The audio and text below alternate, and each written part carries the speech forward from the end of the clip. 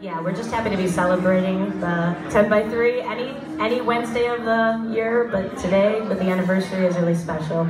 Thanks again everyone for being here tonight. We'll be at the Waterloo Arts Fest this Saturday, um, uh, 12.30 p.m. in the tavern as well.